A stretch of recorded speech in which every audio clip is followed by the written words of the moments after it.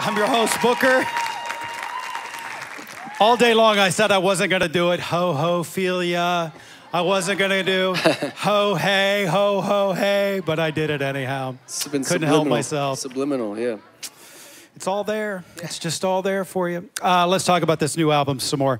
Um, when you when you put out a record, and I've heard it, and it's it's really hard to tell the audience and everyone listening. It is very Lumineers, but everything is completely different from everything that you've done, and yet you could still say it's the Lumineers. When you're recording music, do you sometimes look at one another and say, "We've done this before. Scrap it." Yeah, sometimes. I mean, Yeah, I, I just read this Rick Rubin quote. You know, the producer Rick Rubin. He said the best way to serve the audience is to ignore them. And I feel like after the first album, sorry, guys. I tell my boss that every day. yeah, no, but after the after the first album and the success of Ho Hey, I think me personally, I was like, I felt uh, very in my head about working on the second album. Now working on album four with Wes, I just feel like whether we decide it consciously or subconsciously, there is this moments where we want to evolve here and there, maybe use an electric instead of an acoustic. Uh, this album, we actually started using drum beats for basically the first time. The first three albums are sort of foot stomps and amalgamations of drum sets, but this was fun to sort of let loose and you know have this sort of drum set type feel, more electric guitars.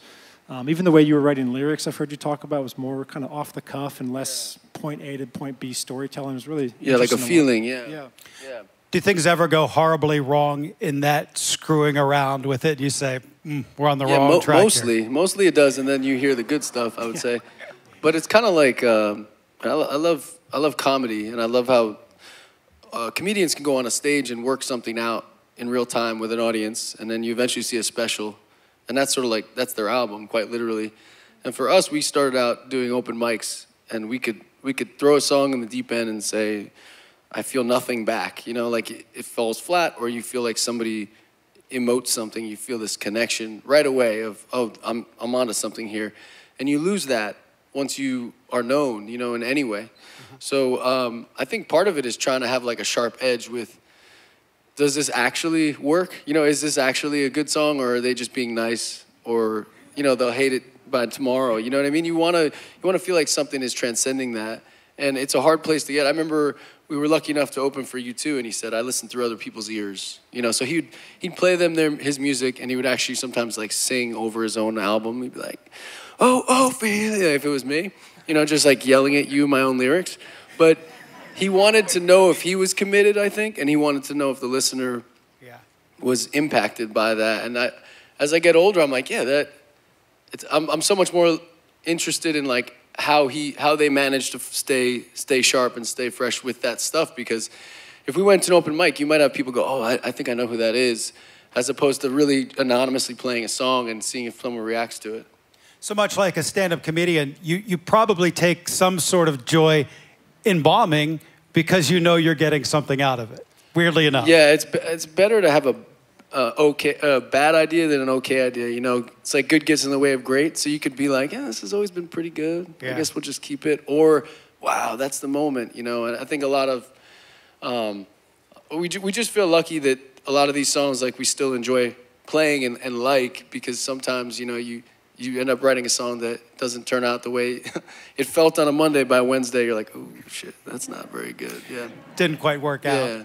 What was the writing process like during this odd time? I mean, so Jared moved to Italy with his wife, who's Italian, and um, so we were exchanging voice memos back and forth from our phones, and then met up and workshopped the ideas in Denver for just a few weeks, and then went to the studio. And at that point, normally we show up to the studio, and I don't know if there's any musicians out here, but you, you record it, and you can put it in Pro Tools, and you can build it up. You can put like drums and you know violin, and all these things are simulated.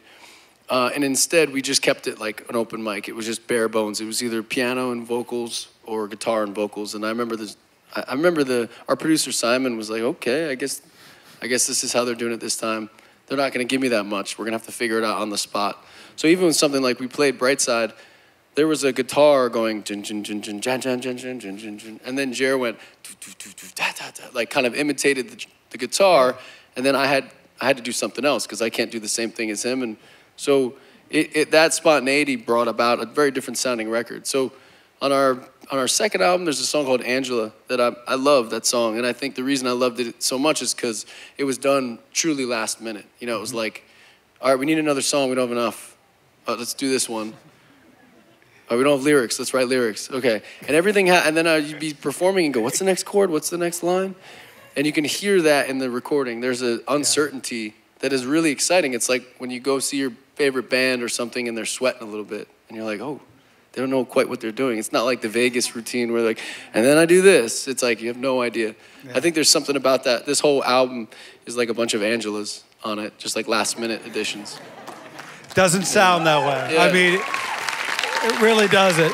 I, am so happy coming up on the live feed. You're going to hear where we are. It's my favorite track, and I don't know what your favorite. Do you have favorite tracks? Is that even a Va- I'm sure they're it all yours. change a lot, yeah. Yeah, I think right now it might be AM Radio. It's a song that yeah. just came out a couple weeks ago, and I just really love that song.